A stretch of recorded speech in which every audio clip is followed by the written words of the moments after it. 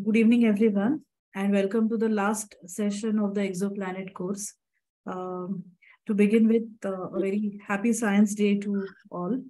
And uh, for the last session, we have with us Dr. Abhijit Chakraborty uh, from Physical Research Institute uh, or Physical Research Laboratory, Ahmedabad. So, Dr. Ravi, uh, request you to kindly introduce our speaker. Thank you, Prachi welcome Abhijit and welcome everyone. Uh, I'm very happy to introduce you all to uh, Professor uh, Abhijit uh, Chakraborty from uh, Physical Research Laboratory. Uh, he's the head of the Astronomy and Astrophysics Division, and he's also the director for the PRL 2.5 meter telescope. He's one of the world's expert in the precision radial velocity measurements. So, project director, actually. Oh yes, yeah. There you go, project director. There you go uh, and he's one of the world's most foremost expert in the precision radial velocity measurement. So it's uh, really an honor for us to be here. Uh, Abhijit, whenever you're ready, please go ahead. Okay, uh, can I start now? Yeah, yeah, please go okay. ahead. Okay, so uh, I will be mainly discussing about the technique of precision radial velocity measurements. And um, so, Please. so uh, and uh, so so if you want to, uh, you know, study stars, you do, we point the telescope to the star and, you know, either you do photometry or spectroscopy, you know, you get the photons and then study on this. But in case of planets, it's not that sure, that uh, easy because the planet is very close to the host star and it is, uh, you know, like roughly 10, 10 billion to 1 billion, 1 to 10 billion times fainter than the star. So it is very difficult to uh, see. Say, for example, if there is an alien which is, uh, say, about 10 parsec or 30, 33 light years away from our solar system, and uh, the person is trying to uh, understand whether I see there's some echo, I think. Yeah, so we fixed it. So please go ahead. Sorry. For... So if, if there is a, um, if there is a pal planets around the, the sun, the, the person or the alien uh, creature will have no idea because as you can see in this graph, that Earth, the blue curve is almost uh, 10 million times fainter than the sun. And so, you know, like that is the main difficulty that, uh, you know, like you cannot, it's like looking a firefly, firefly against the light of a lighthouse. So that's the problem.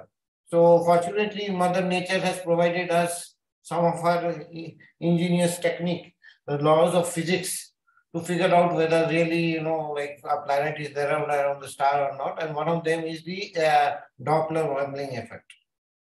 So uh, what is Doppler wobbling effect? So suppose, basically, you know, if you consider a planet around the going on the star, it's actually they are going around uh, their common center of mass. But since the mass ratio is too huge, that is the planet is extremely small compared to the so the host star, the this common center of mass, uh, you know, like almost coincides with the center of the star. So the star wobbles. In this uh, cartoon, of course, it has been little oversimplified so that you know, like the person can actually see it, uh, the motion. So when that happens, the we can see the star's motion, and which will make sure that and observing the star motion, the uh, the the Doppler velocities of the star, we can say that whether you know there is any planet around it or not. Okay, so uh, basically one basically use uh, Kepler's third law and um, then by you know, Newton's law of gravity, and then one can see that the the mass of the planet is basically ratio is uh, is you know like uh, directly proportional to the amplitude of the oscillation of the star or the wobbling of the star. And uh, so I'll just skip this. Okay. Uh, so you know, like if k k one is the uh, amplitude of the of the of the wobbling, then it is uh, equal to you know the uh, the m2 sin i by m1. Okay, assuming that m2 is much much smaller than m1. Okay, so you can see that uh, directly from K, uh, uh, the K value actually represents the M2 sin I, where the I is the projection angle of the orbit. Okay, and, and knowing the M1, that the star mass, uh, by some other method like stellar spectroscopy with a sufficiently precision accuracy of plus minus 0.1 solar mass, you can actually determine the mass of the planet pretty accurately. Okay, since my main topic is that instrumentation part, so I will mostly focus on that. So uh, the radial velocity is the only ground-based precise method for measuring mass of the planets down to super Earth. Of course, the other way method is the space-based astrometry. Some micro-arcsecond better can, can do, in principle do the same job, but out of scope for Gaia because that probably has something around 10 micro to 20 5 micro second accretion limit. So currently, if you want to measure fine super arcs, the only way you can do it is to a radial velocity technique. They measure the mass. Okay, so uh, you can uh, let us have an idea of what could be the k value uh, of the of the you know the host star because versus the mass of the of the planet. So if you see, for example, typically, uh, is my cursor visible? Hello. Uh, yes, yes cursor is visible. Yeah. Cursor is visible. Okay. Yes. So, uh, so you know, like say, consider this as the sun. So you can see that uh, the to detect Earth, the wobbling, uh, uh, you know, like the wobble due to Earth, the sun wobbles only about a factor of nine centimeters or something, and uh, these are the various, uh, you know, like k values that an instrument must have to determine uh, these kind of uh, planets, and this this um, um, this blue region is basically the habitable zone. So how does one define a habitable zone? One defines a habitable zone is that the zone which is at the right distance from the uh, host star, that if a planet exists, then the temperature will be, you know, like not cooler than maybe minus 70 degrees Celsius and not hotter than plus 80 or 90 degrees Celsius. So which can effectively mean that some organic com compounds can, can uh, uh, but this in this you know the uh, the the effect of the you know atmosphere of the planets and all they are not considered this is just based on the the the, the effective temperature or equivalent temperature of the surface of the planet where because of just the distance from the host star of course, this is subject to many more effects. So for example, if you can see this in this, the Earth is on the uh, edge of the habitable zone, but Mars is well inside. But we all know that Mars has very thin atmosphere, and so it is beyond habitable uh, habitable conditions. Uh, so, whereas Earth uh, is still today, it is habitable, and you know, like because it has a right atmosphere, and uh, that protects which protects the earth from extreme environment. So in uh, so in this blue color you know that uh, atmosphere effect is not considered. This is just the, distance between the planet and the earth and the host star okay so coming back to the our radial velocity uh, um, uh, coming back to the uh, the distribution of the planets so far discovered we know more than 5,000 planets and they're, uh, you know, like of which about 1,000, 1,200 masses are about uh, accurately known more than with accuracy more than 50%. And uh, here you can see that what are the uh, limits here. Say, for example, this is 10 centimeter limit, this is 50 centimeter limits. You can see there are very few spectrographs that can go below these 50 centimeters. Most do around one meter kind of thing. And so that's why, you know, like still, you know, detecting uh, Earth like in the habitable zone is still little bit uh, distant dream, but hopefully, you know, like next uh, two few decades, probably this uh, this will be achieved. But you can see actually, you know, like there is a lot of uh, gaps here where there are more, uh, you know, discovery biases are there. So you have more discoveries here and less discover discoveries are there. The the the field is uh, you know sparsely populated here or almost not populated here. Okay, so so so in 2007, you know, I came back, I returned from US and joined Physical Research Laboratory and to start this exoplanet science program. Okay, that time, you know, like uh, today, a lot of institutes are showing a lot of interest and people are actively uh, participating. And I'm very happy that uh, at Pune, this program is going on. So this is like some kind of a dream for me because you know, when I started this uh, in 2007, most people were not even worried about this subject. And I had to push a lot of uh, people to get my funds and uh, convince them that this is a, a very big science to do and, uh, and should be done where, you know, like in developed world, this is being done. So India should also join the, the research in this field. So uh, fortunately, I was able to convince, uh, you know, the PRL director, the then PRL director, and uh, I'm the Department of Space, and they gave me money to start the project. So I started this program at the time with the idea of, you know, build a radial velocity uh, spectrograph with the existing 1.2 meter telescope. Well, that time itself, I had asked for a larger telescope, but they simply very politely said, no, no, you first prove your spectrograph with 1.2 meter telescope, then we can think of having a bigger telescope.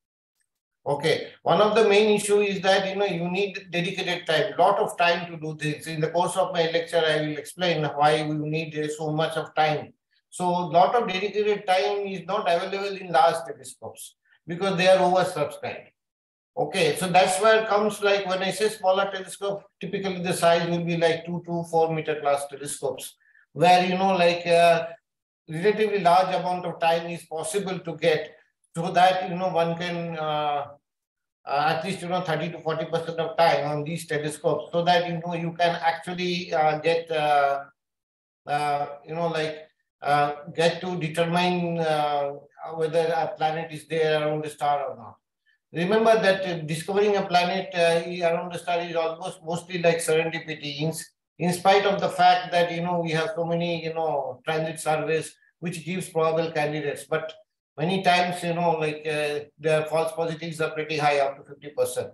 So, so that's why you need a lot of uh, lot of time on small telescope to do this job. And I thought probably, you know, like, you know, with one 1.2 meter, let me start the program and slowly I can get to uh, have a have a bigger telescope to do it.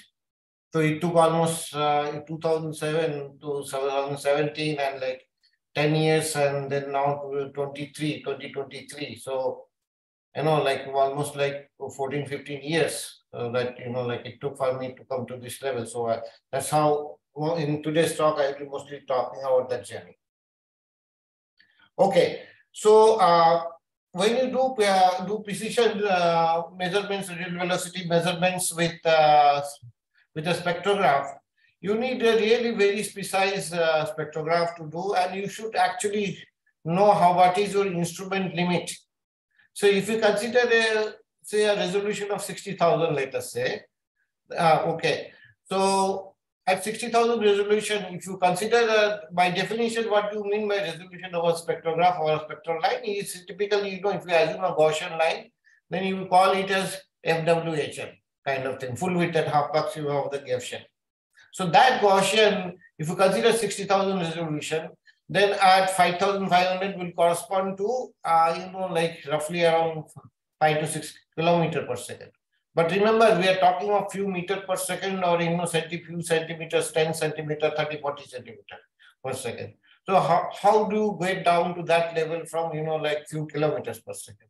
That is one challenge. Okay. Uh, so that can be done in two ways. Uh, one is the you can to begin with you know what the easier easier way is to use a iodine cell. Okay so more, this was the most popular uh, method in the us uh, you know like which was like HIRES uh, caltech HIRES with the Keck they they used that.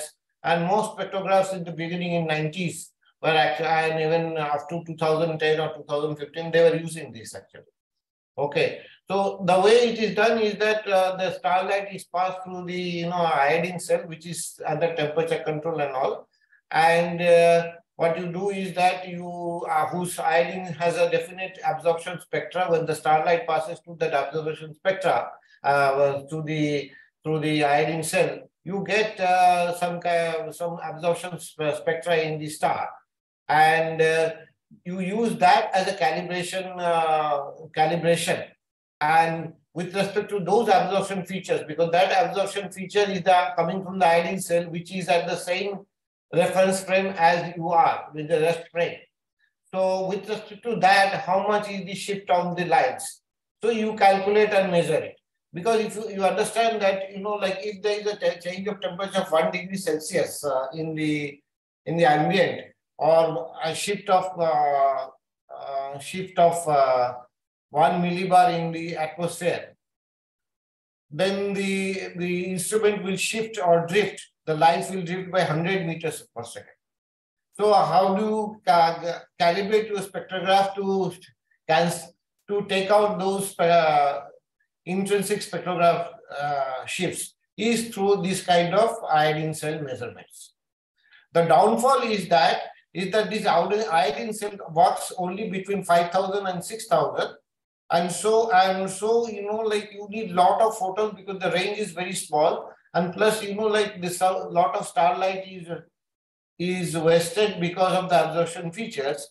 So you need very pretty large telescopes to do this kind of work, like 10 meter, 8 meter class telescope or 6 meter class. On a one, one meter class telescope or two meter class telescopes, uh, if you do iodine cell measurements, you can hardly reach maybe like 6, 7 magnitude or something. You cannot go fainter than that. Okay.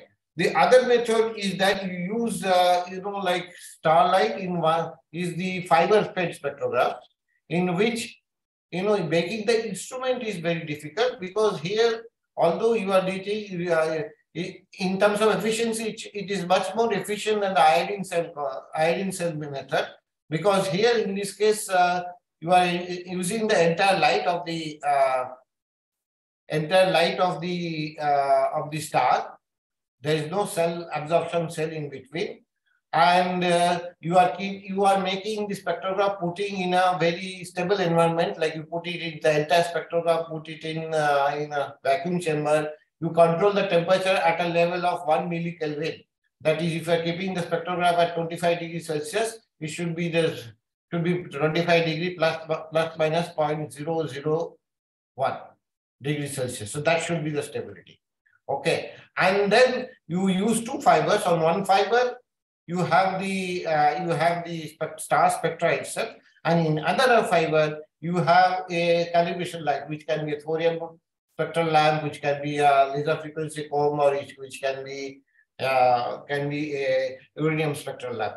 So by doing this, what happens is that you are having in situ calibration simultaneously, and the spectrograph is under stable condition. So therefore, you know, like you are able to uh, calibrate the, you are able to know how much the spectra, spectrograph has shifted during the observations or, or between two sets of or 10 sets of observations of T1, T2, T3, T4, and so on. Okay. Now, this although this second method is more efficient because it goes from all the way from 3800 to 67, 7000 angstrom. Uh, but you know, like making such a spectrograph is is most challenging because you have to be, a spectrograph size is like, you know, a few meters by few meters, and you have to make a very big chamber to, uh, to put it in a vacuum. And the most difficult to have a temperature control of one millikelvin. I mean, that is the most challenging stuff. So having said all these things, so I will come jump now to the uh, spectrograph. Here you can see that you have the you know the optical fiber coming from the telescope end to the slit position. And then you have the you know like uh, here is the E shell. And here is the you know like the prism cross disperser. And then here you have the uh, here you have the camera lens.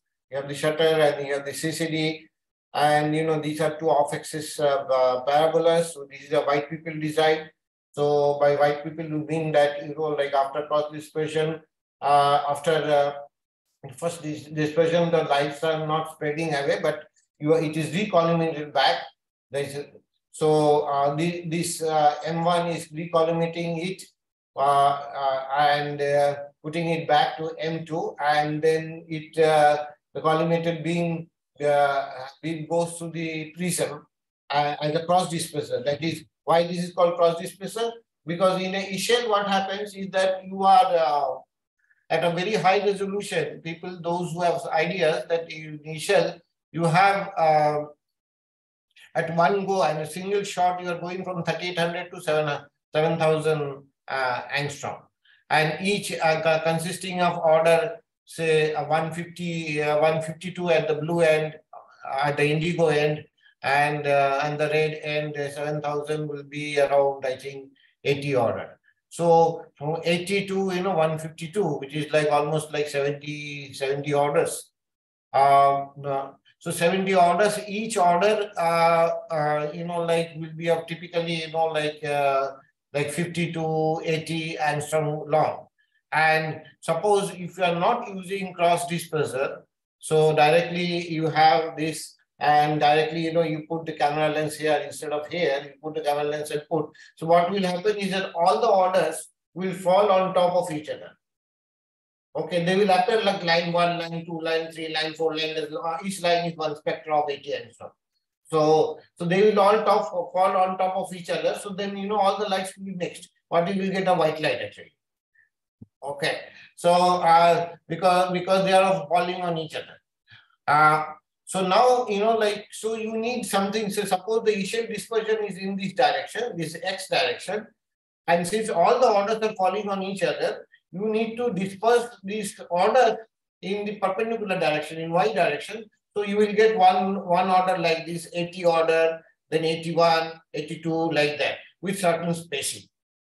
Okay, so in order to do that, this prism is useful. So the, the job of this prism is to, you know, disperse the light in the perpendicular to orthogonal direction of the echelle.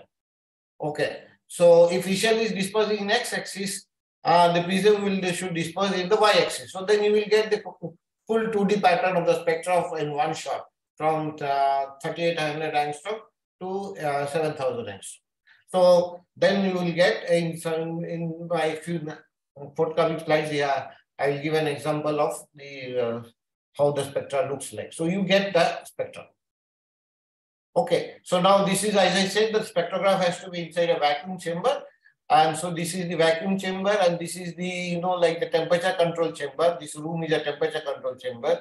You can actually see that inside the big vacuum chamber, there is a small vacuum chamber which hosts, uh, hosts the CCD. Remember the CCD detector has to be cooled at a level of minus 115 degrees Celsius and it has to be very high vacuum that like minus 6, not very high, but moderately high, minus 6 millibar, 10 to the minus 6 millibar whereas the big chamber can be at a level of, you know, like minus 2 millibar, 10 to the power minus 2 millibar or minus 3 millibar. So that should be fine.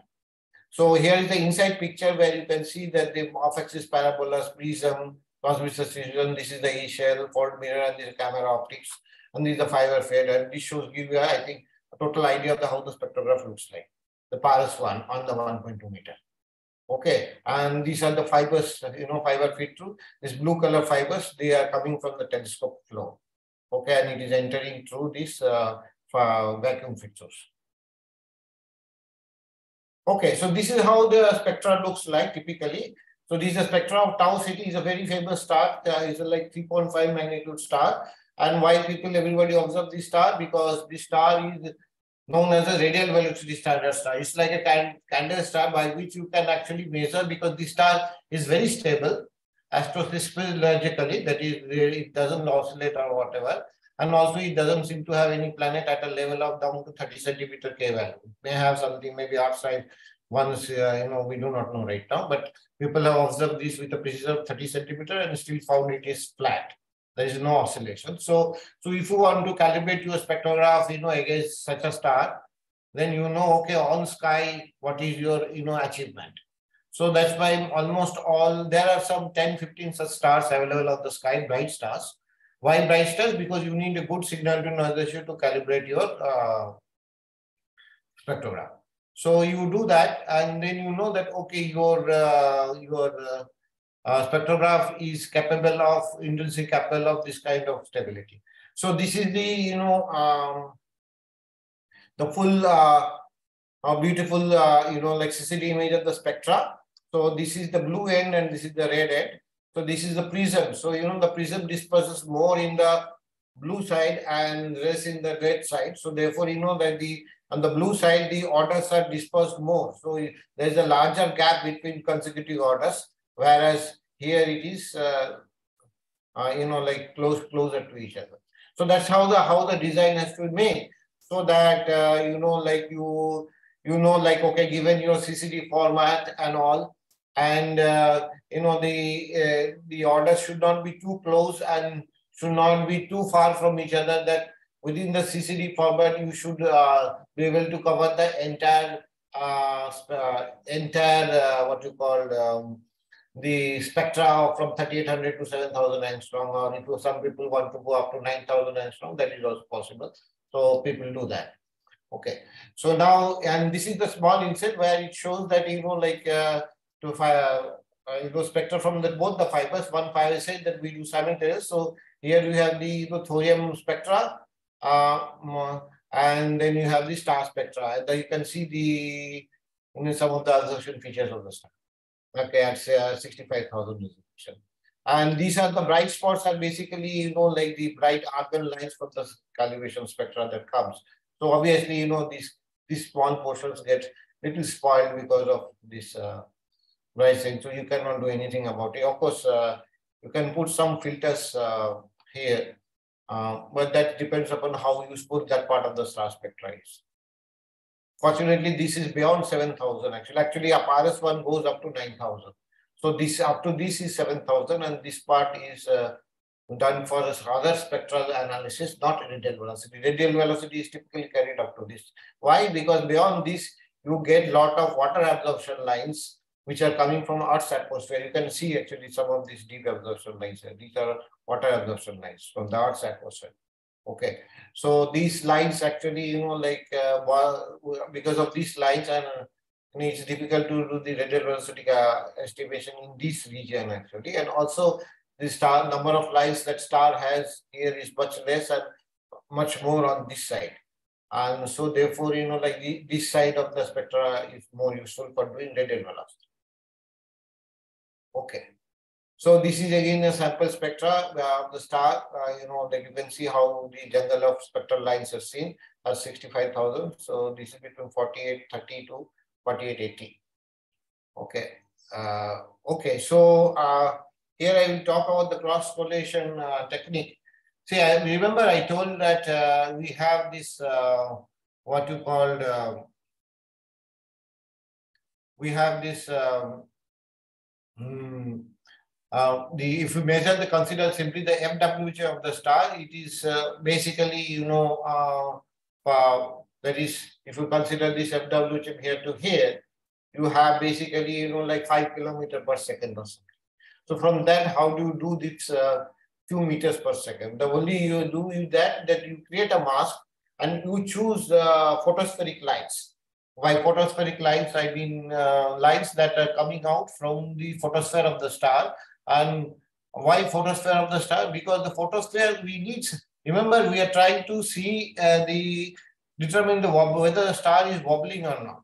So with, if you want to know the, whether the star is wobbling or not, means that you are assuming that though, even though it's a gaseous ball, you are basically assuming that it's one, one ball, ball of hot gas, which is acting as one single ball, and there is not much of differential, uh, you know, like velocity rotations.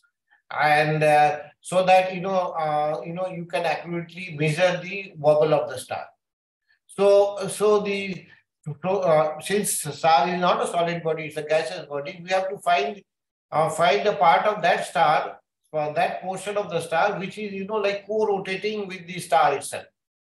Okay. And that is the photospheric part okay if you go to the corona or some other place or for stratosphere or you know like um, uh, chromosphere, not stratosphere, chromosphere. So from photosphere, if you go to chromosphere, the chromosphere do not co-rotate or corona not at, does not even co-rotate. It has its own dynamics, so totally different size. Okay, so if you try to pick up those lines, because when you get the star spectra, you get all lines, lines arising from photosphere, lines arising from the, the chromosphere, and arising from corona or whatever. Okay, so so you have to select only those those lines which are mostly you know like iron lines and uh, I think strontium lines, tungsten lines, iron lines. Some there are metallic lines are there. Mostly the metallic lines that lie those have like few eV of excitation energy. So they actually come from the from the photosphere of the star. So these uh, so therefore, what you have to do, how to differentiate that you already know what are the rest wavelength of these lines. They are about, you know, like they are basically for the sun, they are known as Fraunhofer lines because the Fraunhofer was the first person who actually, you know, like uh, walked on this and so it is named after him. Uh, so these Fraunhofer lines, uh, what is our sun is a typical star that if the Fraunhofer lines is present in sun, it is present on stars also. And all G-type stars will have that. So uh, uh, not only G will have similar lines 7K and you know uh, and uh, late F type stars will have this kind of lines. So these lines, you know, like you make a mask and then and at the rest wavelength, and then you choose. Uh, so you run a cross correlation between the mask and the star spectra at T1, T2, T3, T4, like that. So this is the cross correlation technique. So this is the mask. So that means at the rest wavelength, you will have one uh, transmission at that is zero. So as you, you know, like move the, uh, move the, you know, like you can see the move the uh, mask against the absorption, uh, absorption uh, spectra. So what we'll have is that and multiply to the values. So uh, basically, you know, if, if you multiply with against zero, these are zero value and this is one. Okay, with some, some small, very small it is typically the one tenth of the uh, the resolution of the uh, of the of the your FWHM. So so that you do sufficient sampling actually. It can be little more than that, but typically it is done at one tenth of the FWHM. So so if you do that, then you will sample it, and when you sample it, you you will make a kind of a uh, kind of there are 10,000 lines, suppose, let us say. So entire these 10,000 lines, we, when you run the mask, you will get, you can see first you will, at this point you will get, at this point you will get, and this point you will get. So you get a cross correlation function.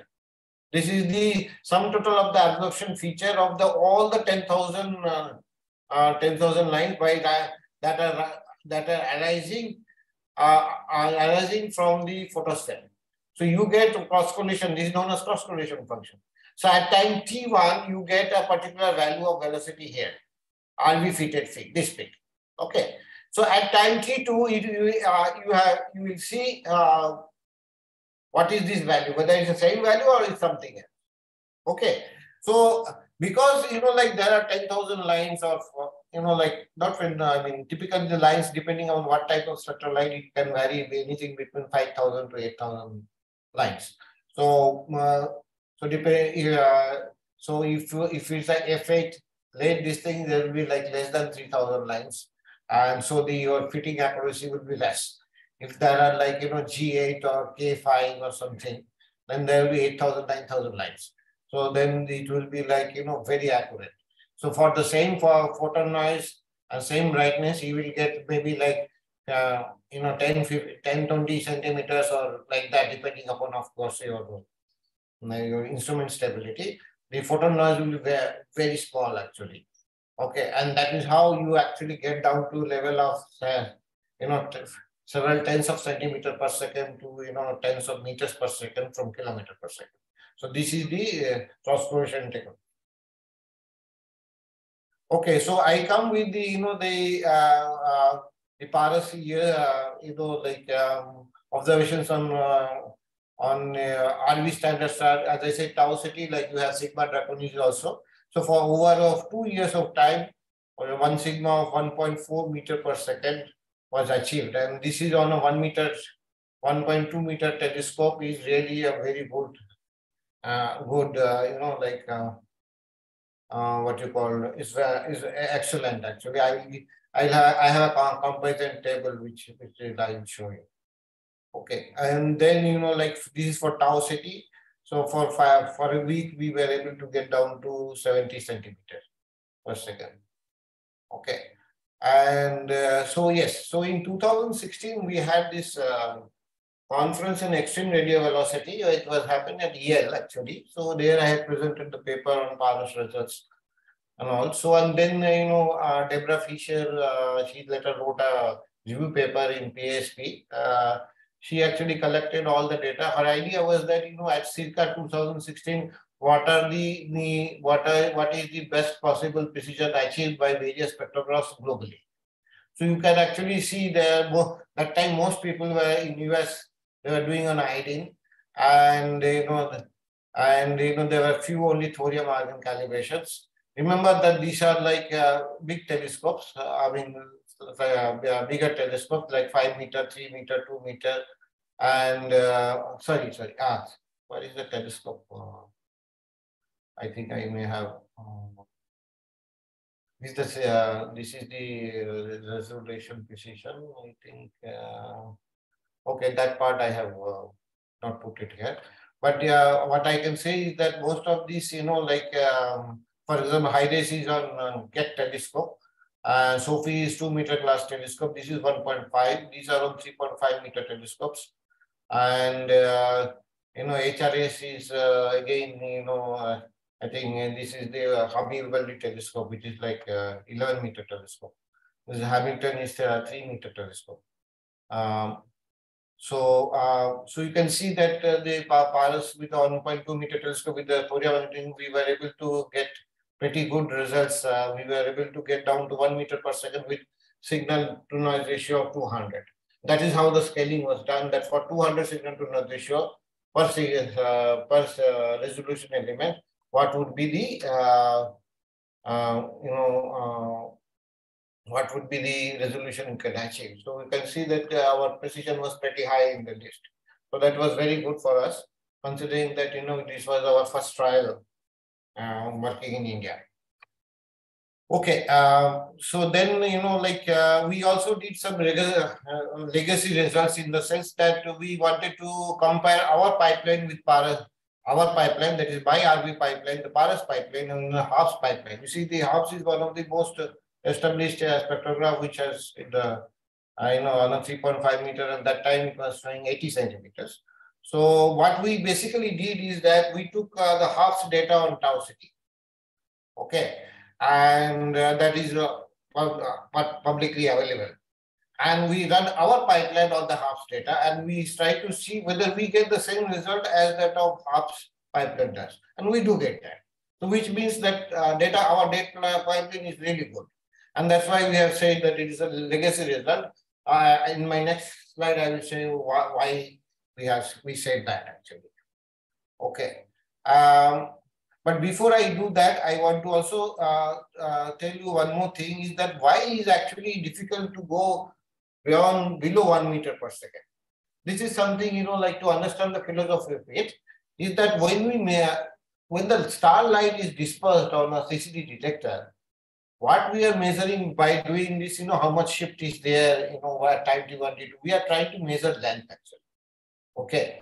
And as I said, that the resolution of, you know, like uh, five kilometers is the FWHM, and typically FWHM would be like three to five pixels.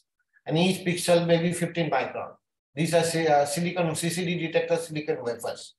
So if you uh, now if you want to go from that effectively, which means that when you are trying to find out precisely statistically that how precisely you are able to measure your uh, bottom of your absorption feature cross correlation feature, you are basically here. If you look at this, you are basically trying to see, you know, a 10 centimeter per second is basically in this, you know, like silicon uh, wafer electron micro, this thing. You can see one nanometer is this. So you are trying, if you want to go 10 centimeter per second, you are basically trying to see distance between, you know, like for 10 centimeter means you are trying to like some few nanometers length distance you are trying to measure. And that is the, that is the basically, you know, the, the limit we are facing actually. Trying to get down to 10 centimeter or 9 centimeter so that we can detect our Earth going around a sun-like star at one end from, from away from the host star. So this was, I thought the, the philosophy is, uh, is uh, I wanted to show that where is, where we are currently stuck actually. Okay.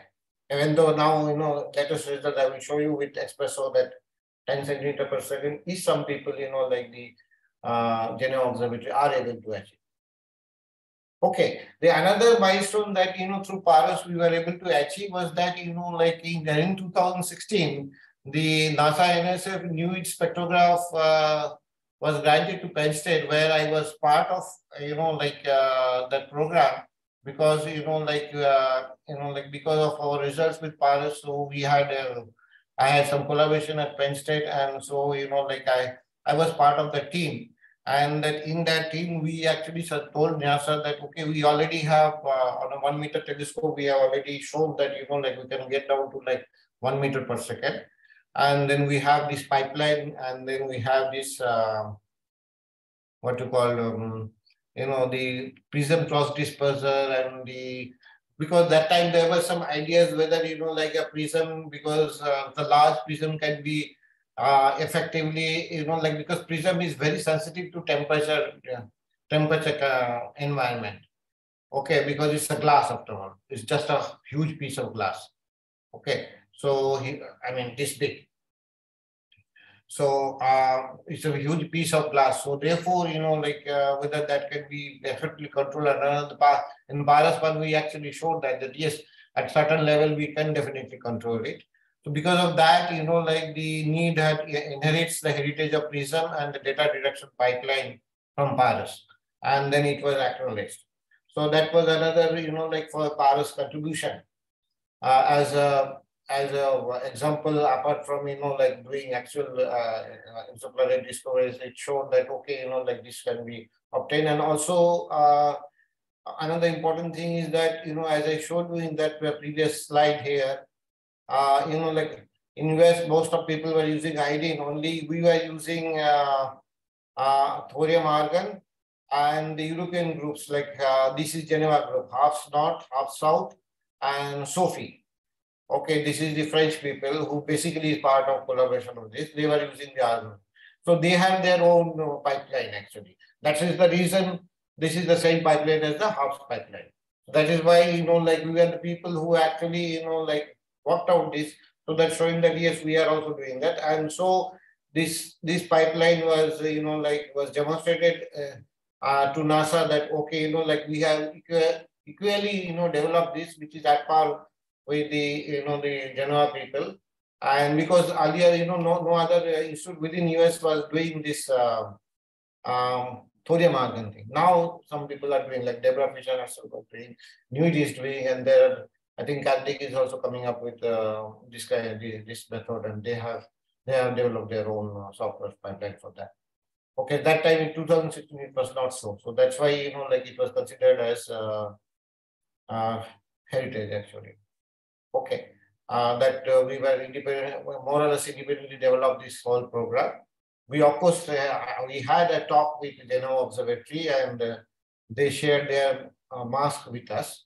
And uh, then we developed our whole uh, program and then did the whole thing. And that's why you know that comparison with the uh, uh, was necessary. Actually okay. Uh, so I will now come to like what is the latest position is that as you can see that with espresso this slides I got from Francesco Pepe who is the director of Geneva Observatory uh, you know like we have this um, they are claiming that with uh, you know on the 8 meter reality, they are able to really get down to like 10 centimeter uh, instrument precision.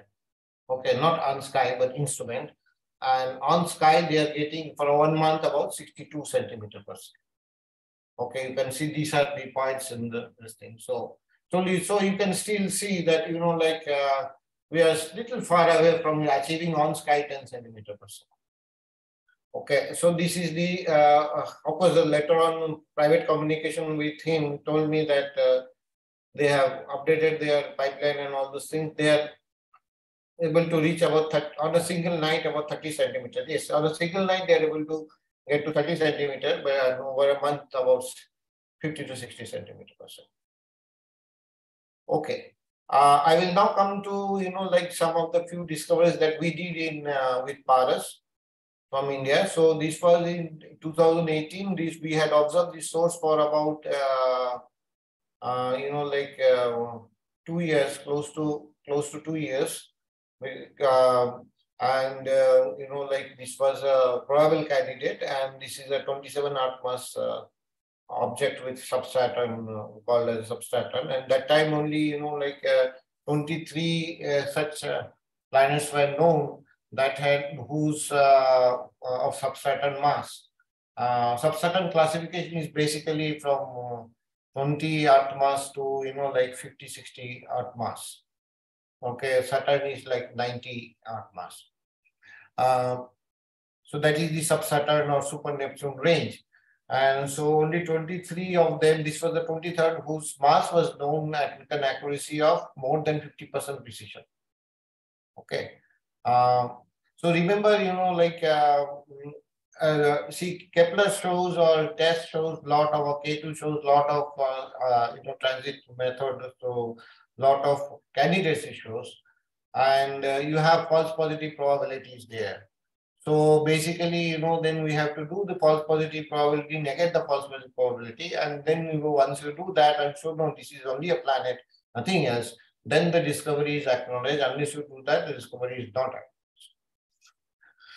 So, uh, to, to do that, we had to spend over two years of time on this uh, 1.2 meter because, you know, like because the K value was of the order of six meter per second and which is, uh, you know, like uh, basically mm, close to the stellar uh, seismologic this thing. So we had to observe for almost two years to show that it is coming from planet and not because of some other phenomena. Okay, because if other phenomena are quasi-periodic, so we so if it is a planet to planet, it will be there for it will be there as long as the planet is there. And so you, you observe today, you observe after 10 years, you should still see it. But typically the other phenomena, astrophysical phenomena, seismology phenomena, or you know, star spot activity, or these kind of activities, or flares, uh, the radial observation, because of those stuff, they will come and go and will vanish. So, you know, like when you get, when do you do the observations uh, for a longer time, then you know what, uh, if it is a false positive, it will go away. If it is not, then it will continue. And this is the reason why you need high cadence observations. And this is the reason why you need a lot of telescopes and lot of telescope time to do this kind of work, which are not often not available on a larger telescope. So this is the same source about it. This was a K2 curve, and this is the uh, you know spectral classification of the host star. Okay, I understand. This is another of the hot Jupiter observations that we did, and uh, uh, here actually earlier one we were able we had to spend because it was six meter we were had to spend almost two years. Here we were one or two months we could finish all thing because why the K value is large, so there is no you know like uh, K value is, uh, you know, like of the order of 60, 70 meters per second. So there is no basically any, uh, any, any interference with the stellar seismology because stellar seismology and other player stuff, the K values of the order of few meters per second to sub-meter per second. So the trouble starts when you try to detect smaller planets, not hot Jupiters. Okay. So now I come to the Paras 2. If you remember that, you know, like when I initially started, I wanted to have a bigger telescope. So eventually, you know, like we got this uh, Department of Space agreed that, okay, you know, like uh, in 2016, that, okay, you go ahead with a bigger telescope. Because uh, again, you know, like uh, with, with there are a couple of two meter class telescopes or even ARIES 3.6 meter class telescopes, which are uh, national facilities and they are oversubscribed. So if you want to get 30, 40% reserve time for exoplanets research, is not possible to get. So, and also we needed a telescope which can also do target of opportunity observations for nova and supernova observations. So, so on these two clauses, uh, you know, like we are able to get the funds for the 2, 2.5 meter telescope. And so these telescopes saw first light in November 2022 and it's, uh, it's an excellent telescope. And the telescope uh, was manufactured in Belgium and it was uh, based on uh, the parameters that we had uh, fixed. And uh, so we had, you know, like here you can see the, there's a faint object camera is there. and the PARAS Cassegrain unit is on the other side. And you can see this fiber coming out, the two fibers for PARAS. And this is the PARAS spectrograph. This is almost uh, the, the size of this uh, spectral length is almost 4 meter and diameter is 1.5 meter. So, and this is inside a whole room. So this whole room is uh, controlled at a temperature level of 10 millikelvin so that inside this vacuum chamber we get 1 millikelvin. Okay, and the vacuum is uh, uh, uh, kept it as, as a stability of 0.03 millibar. Okay. Okay, so these is these are the if you look at the you know comparison between Paras 1 and Paras 2, you can see instead of prism, we are using a GRISM here because uh here we wanted to go even you know like very precise temperature control. So because we, our idea was to get to some one meter. So we simply adapted the GRISM design of HARPS and they were kind to share with us. And uh, so this GRISM is designed in such a way that uh, whatever temperature deviation is the light deviation is there because of the uh, in the prism because of the uh, because of the uh, temperature deviation uh, the the temperature of the grating which is rested on one surface of the of the of the uh, prism uh, it acts in the opposite direction. So the net net effect is close to zero. Okay. So, uh, I mean, one can uh, one can uh, uh you know like uh, do this combination test in various ways. So the glass that was used by HARPS was not available. So we used some other glass and then redesigned the GRISM slightly to modify it, and then uh, then we were able to get our own GRISM actually. But basic design design structure was similar. The GRISM part only, not the other part uh, was, uh, which is this one, this is the cost specific. The other part uh, were our own design. Okay, so we designed this and then you can see that this is working at uh, 110,000 resolution and, uh, you know, like, uh, so, so uh, and also we had this, um, you know, um, this uh, telescope also has a tipped in facility to do the first order collection. So therefore the the PSF of the star on the fiber tip is very well stabilized. So you have this uh, F8 beam from the telescope and then you have this uh, guide this thing and it, uh, it connects. And uh, and then you have this focal plane, this F8 is converted into F4 and then it goes to the star. And this focal plane CCD is there, which measures before put the star is put here, if uh, image is put on the star, this moves here. This is on an actuator, XY actuator plane, which can move the fiber on the CD with a precision of 1 to 2 microns. Okay, so the fiber uh, core is about uh, 75 microns. So at 75 micron can positions with the precision of 1 to 2 microns, I will say that's pretty good. So that's what we do and uh, this is the ADC atmospheric dispersion corrector. And so the whole thing goes like so. Once you go, first you the the CCD comes here, and then you get the entire. Uh, and the, this image of the starlight, you can measure the seeing. The seeing with the 2.5 meter is excellent. Typically, we get 0.5 arc second to 0.8 arc second if the sky is good. Otherwise, most case it will be 1.2 arc second. So the seeing what we are what this is this is what happens if you know if you have a telescope with active optic system under the primary mirror. So while the 1.2 meter shows you a two arc second seeing this fellow sitting next to next to the 1.2 meter shows you 1.8 arc. So that, that's the kind of technology advancement that happens. Okay, this is without any adaptive optics, without the tip. Okay, on top of it, if you run the tip tilt, you will get better. But we usually do not run the tip tilt at its full capacity of 40 hertz. We our because we our aim is to you know like uh, uh, you know like just to make sure that the fiber is uh, very uh, the star image on the fiber is very stable because if there is a movement of 0.5 arc second, we can get an artificial jump of some few meters per second on the radial velocity. So it has to be stabilized at that level. So therefore, you know, like that's the reason of uh, this tip is kept and we work it as two to three hertz. But the seeing anyway is good. So that's hard rate. Okay.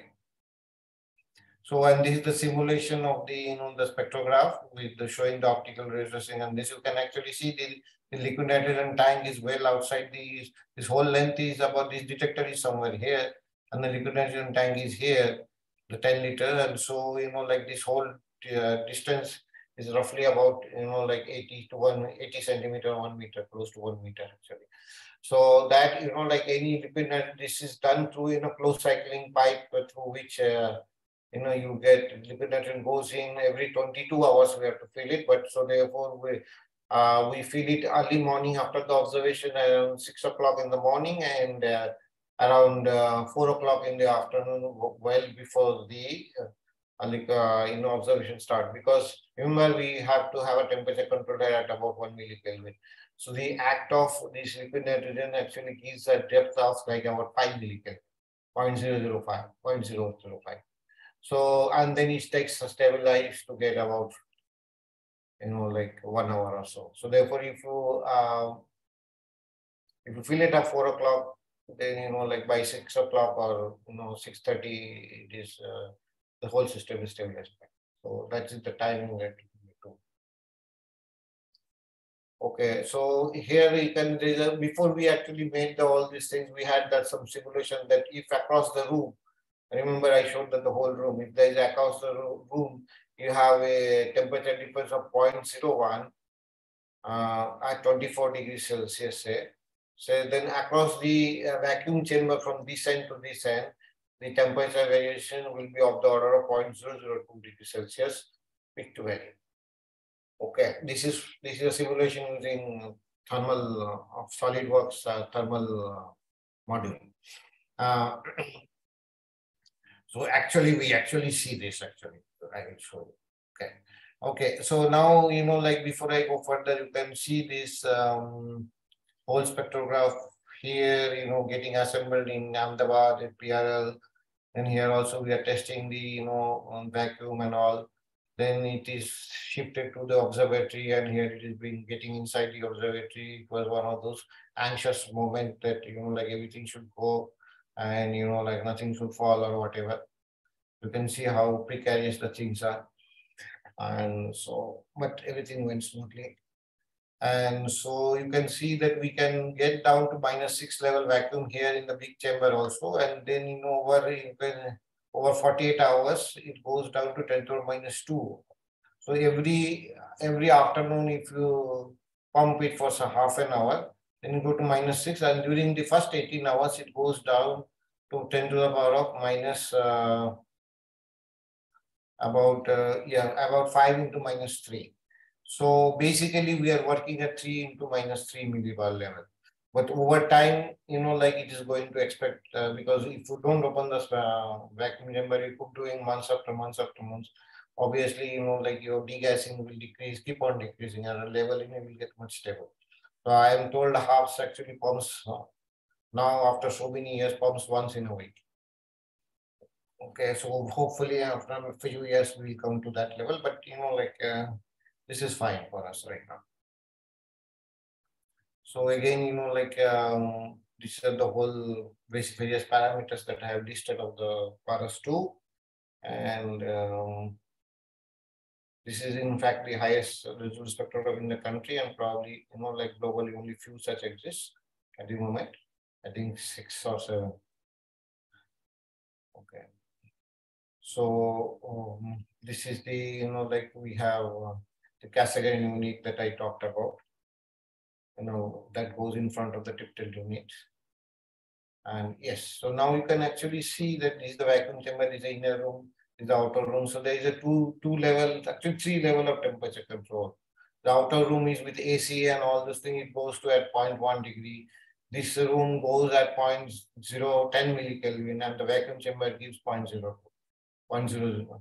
0.002. And actually you can see this here, temperature, this is over a month. And this is over uh, 24 hours, you can see is 0.02, the one that we, we saw in the SolidWorks simulation. And so these are the, you know, the variations. And so the RMS is about 0.001 or even much less than that. So, so okay, so this is again comparison PARAS 1 and PARAS 2. Uh, so this is the entire spectra of the, you know, the PARAS 2 on a single fiber. Uh, I will show you the two fiber spectra also. uh, the single fiber, and then you can, these are using uranium lines, and you can see the comparison of the resolution at 110,000 and 65,000. It's really, you know, like really good. Okay.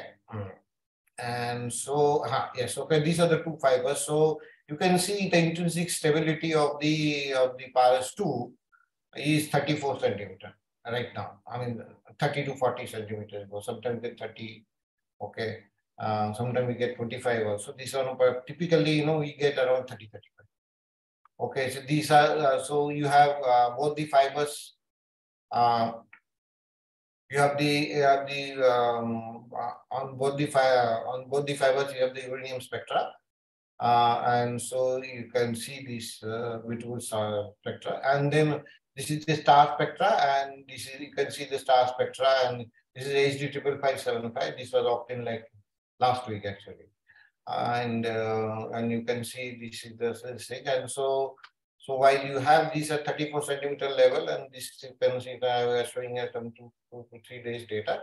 Uh, here you can actually see it is uh, 50 centimeter we get, and on a single night it is as good as 20 centimeter per second. Okay, so Mm. Um, yes. So they basically, you know, like, uh, so that shows that, you know, like uh, we are on track. Still some, you know, uh, small, small, you know, software stuff has to be done and some ADC has to be properly optimized. ADC is not fully optimized now, but hopefully in, in one or two months, everything, we are actually observing every night with PARAS 2 and doing calibrations on the uh, RV sources and the stars as well as there's had some uh, test objects we also we are following it. Okay, so now uh, I want to say that, you know, like, so what, uh, you know, like what I, I talked about asteroseismology and all these things. So you can see that uh, what kind of uh, oscillations you get, like 15 minute oscillations, one hour oscillation, 15 to two, two days of 15 minute to two days oscillations, and there, you know, a few meter per second and all those things. Okay. So therefore, it is therefore, eh, once you want to detect super Earths, you have to observe a particular source maybe over a year or few years before you can actually definitely say it is because of that and nothing else. Even though, you know, like you have some kind of, uh, you know, even if it is a, you know, transit candidate and all, uh, of course, then you may not have, you can do it depending on what is your signal to noise ratio and what is your sigma level detection. Still, you know, one year observations are necessary often to, you know, detect a uh, super Earth. So that actually, you know, that's why we have some 30 to 35% dedicated time with PARAS 2 on 2.5 we will have. So, so cadence is very necessary. So cadence, you can see that, you know, like K is the K value, suppose, and then N is the total number of uh, observations. So K by RV RMS is to square root of total uh, quota, total number of observations. So that is how you know it is is defined actually. Okay, and uh, you can see actually from here, or dedicated accelerator work no available on large telescopes. So number of observations, if you want to take hundred, uh, you know, like uh, these things. So if you want to go to like you know like uh, this uh, um, k by sigma value so you can see that, you know, like you need really lot of, uh, lot of number of observations. And same thing here, you can see that if you have a single photon noise of say like 20, 40, 60, 80, so if you consider that, okay, 50. So if you have 50, then, you know, like in one year, you know, like this was from Peter Plavchan and uh, David Latham. They had, uh, based on some private communications, they had had some uh, talk somewhere. So I happened to attend that and uh, borrowed the slide from them actually, and to have a better, to, you know, like understanding, tell people actually, and I like their work actually. I think it is probably published also in some astro, probably it is published in Astro PH by them. I'm not sure. Okay, so what they have tried to read that if you have, have a hypothetical four meter class telescope and do like a project of HabEx kind of thing and 170 targets. And uh, um, so what will be the timeline to do this kind of completely detect we say that whether, you know, like 100% confidence that your plan is around blind 170, blind 170 targets. So you can see that uh, the uh, if you have single photo noise less and less, then you can do the survey complete in 10 years. Otherwise, it can go to a very unrealistic number actually. So, so that's the and that's also the minimum survey time. So this actually also gives the uh, tells us that why it is prudent to have a lot of time on you know small or medium class telescopes like two to four meter class telescopes. Of course, this is the habitable thing. And this is another thing that you know the same the same talk is that you know see four meter thing.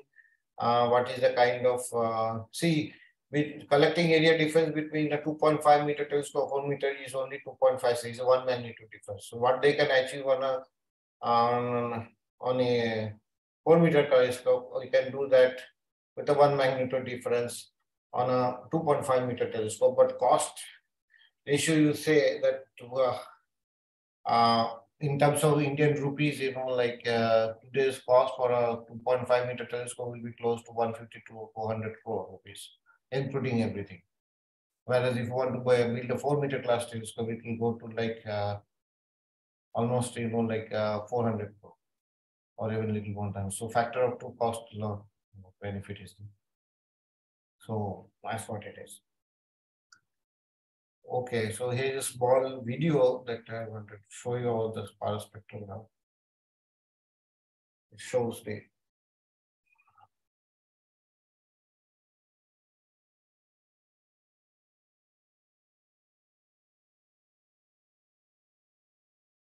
can see the E shell, you can see the off-axis parabola before. Can see. These are these are the off-axis parabolas. These are fold mirror. Here is the fold mirror. And here is the fiber coming in blue fiber. These are detector shutter actually. This is the camera lens. And this is the E big E shell from research gratings. Okay, I'll just skip this. Okay, so I thank you for listening. That's the end of my talk. Hello. Uh, yes, sir. Hmm. Yeah, uh, so we can start the question answer session. Yeah, I probably have offshooted the time, I think, right? No, no, no, we are in time, sir. Okay. So we request participant to unmute themselves and ask question. So how many participants we have now? Uh, so we have a total 60, uh, 58 participants.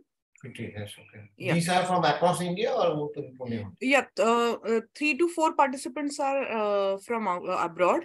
Others are from India. Okay. Uh, participants, we request you to raise uh, your hand so that uh, Can I, I, I, Can- uh, I will be able to hear the uh, question or, you know, you will hear it and you will, uh, No, no, we, we, we have changed the settings, sir. So participant can ask question directly. So Okay. Varun has raised the hand. Varun, please unmute yourself and ask question.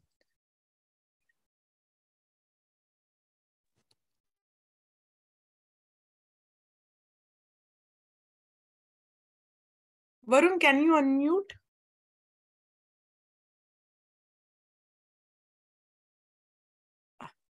Varun, can you hear me? Yeah, yeah, yeah. You can go ahead. Yeah.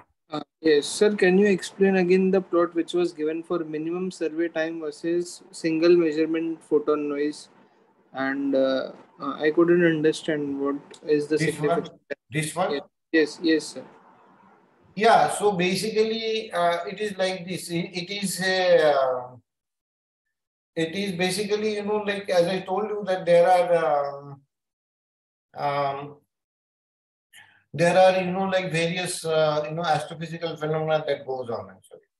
Okay, and if you want to uh, detect super Earths, if you are detecting, you know, like Saturn or hot Jupiter, then it doesn't matter. Once your K value is less than five meter, then the problem starts. Okay. And uh, for a super earth, you know, like it may be like 40, 50 centimeter, or even earth, it will be like nine centimeter. Why we are not even getting that. So, uh, so the question is that, you know, like uh, how do you statistically, you know, like you, you have assumed that per star, suppose you require, you know, like here there are 170 targets, right? And you have suppose 100% time. And, uh, and it's the ideal condition. You have sky is no, there's no cloud. Every night the sky is clear. Let us suppose.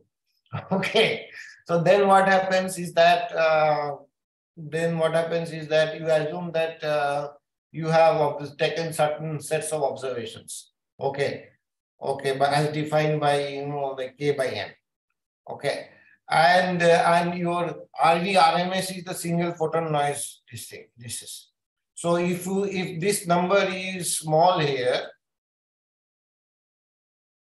okay, uh, is this number is small here, and uh, and so what happens is suppose your k value is say suppose uh, let us say 50 centimeter per second.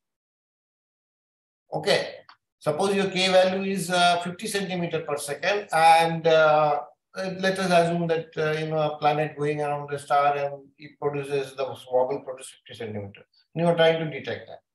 So and if you say suppose your uh, your uh, noise level is suppose 80 centimeters, so you have 50 centimeter by 80 centimeter. Then you know like it is it becomes a fraction here. Okay. So you, in order to statistically do that, you will require a large number of observation and square root of that to figure it out.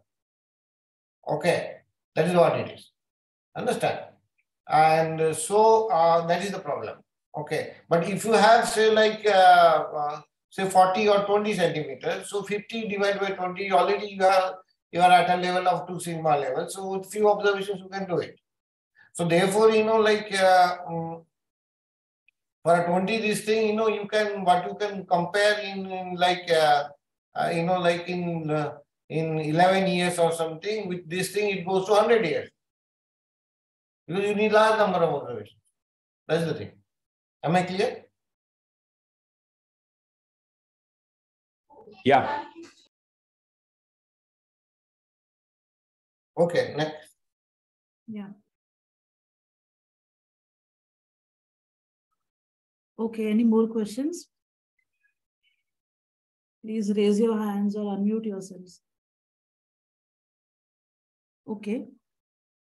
So uh, thank you so much, Dr. Abhijit, for Mm. accepting our invitation and joining for today's talk. Uh, Yeah. Dr. Ravi, would you like to say something? Oh, I just want to thank Abhijit again um, for. Yeah, it was my pleasure. Yo, thank you, Abhijit, for uh, coming over and spending time with us here and giving some awesome lectures and basics on radial velocity. This would be the last one. And uh, Gayatri or Prachi, do we want to conclude now? Yes. Yeah. So uh, for participants, uh, we will be putting a feedback form link uh, in the chat box. And also we have a small activity uh, while you're filling the feedback form. Uh, you can also give your feedback form. Rather, uh, we would request you to give your feedback on the uh, app, uh, on the Mentimeter app. So we'll be pasting the link here. So Gayatri has pasted the link for the Google form. So kindly fill up the form.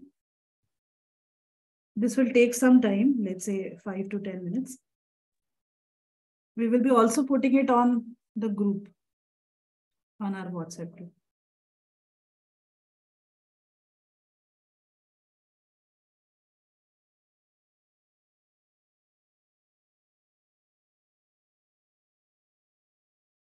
Okay, meanwhile, uh, Gayatri, can we just take quickly a group photo? Yes, yes. I request all the participants to uh, switch on the cameras for the group photo.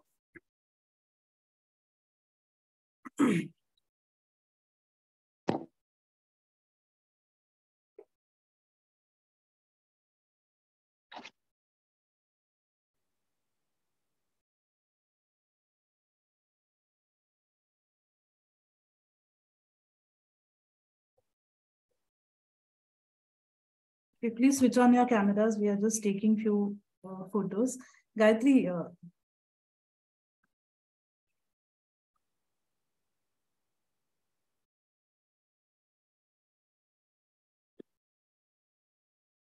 okay.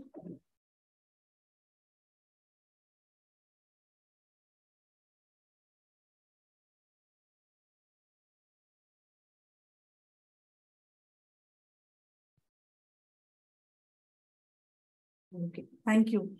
So uh, meanwhile, if anyone wants to give uh, their feedback, one or two, we can we can just have. You can unmute yourself and give. That other people can just fill up the feedback form. Meanwhile, anybody would like to give their feedback, comments, suggestions. Okay. So uh, the this is this was the part two of the course. The part three, uh, which which consists of seminars and all. Uh, once the dates etc. are fixed, we will let you know. We will uh, send out an email uh, for the schedule and all about the part three of the program of the course. Uh, once once we receive your feedback form, um, the certificates would be given to all the participants uh, within you know eight days after we receive your feedback form eight working days Okay, can I leave now? yes sir thank you so much for joining thanks Bye. bye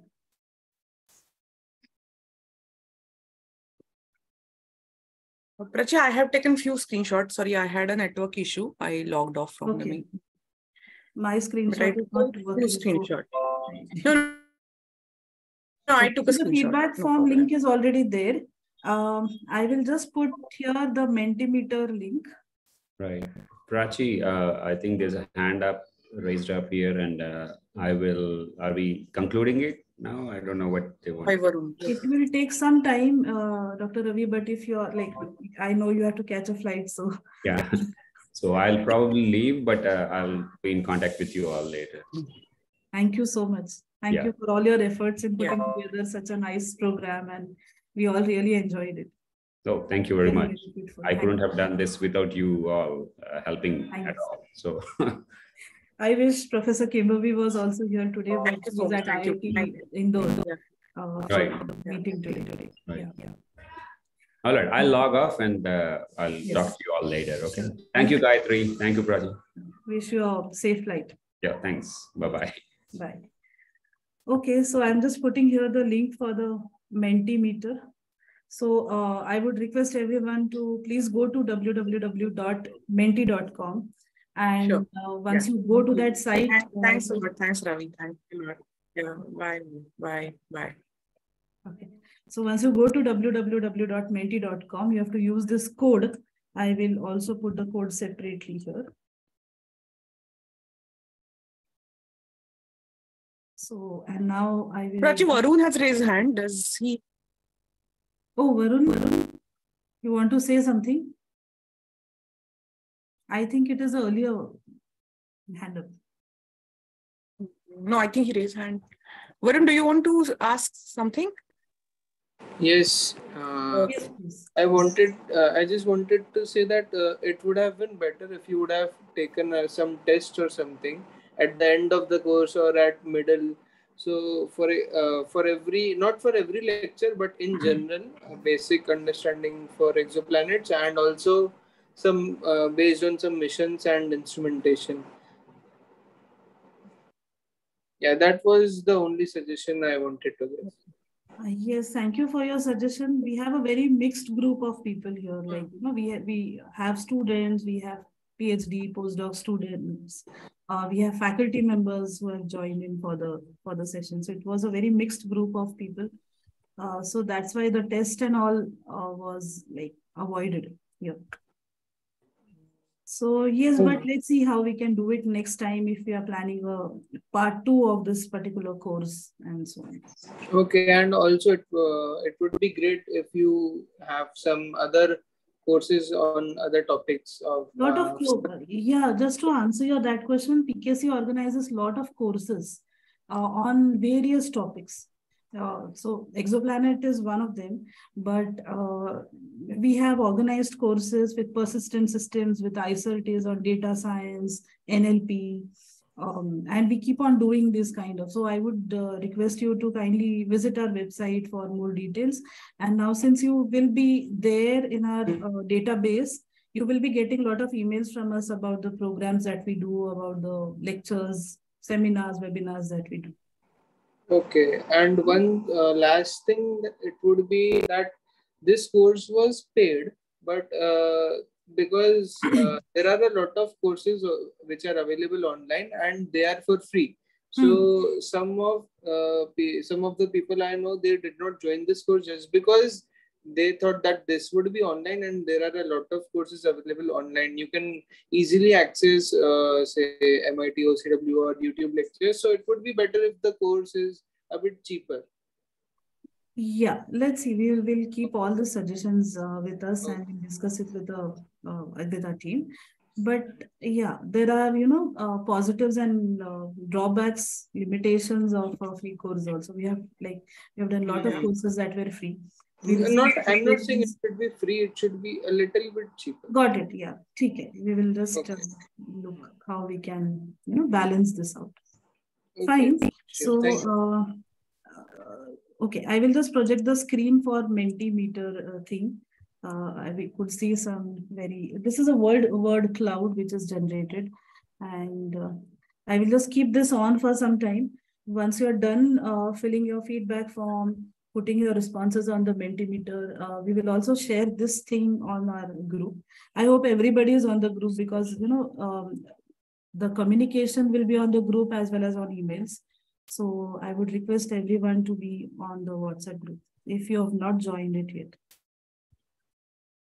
So yes, we can see the interesting uh, word. It's just a fun way to do it.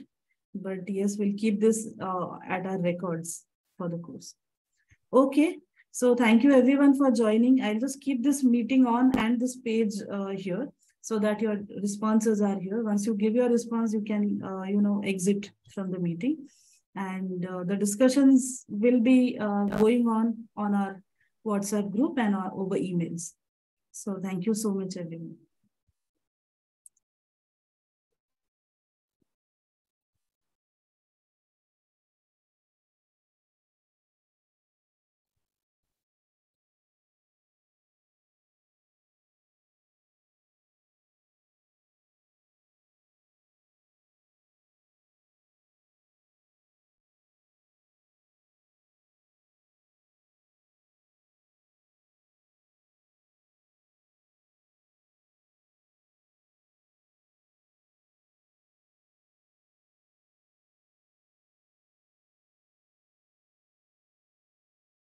Yesterday's and today's session. So on uh, the drive 11th of 11th of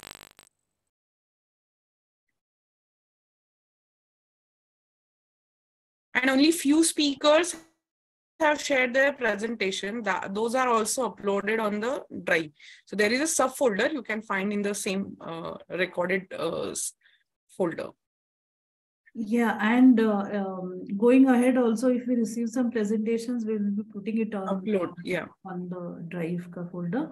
And after tenth of March, the link, uh, we will be closing the link, but even if after that, if we receive something, we'll be sending it on emails.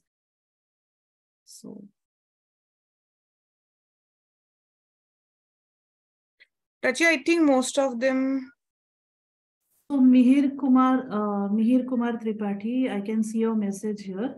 So, uh, here's the feedback form asks for name of the institute and all, you can just say NA there. If it is not like, applicable you yeah. can just put NA.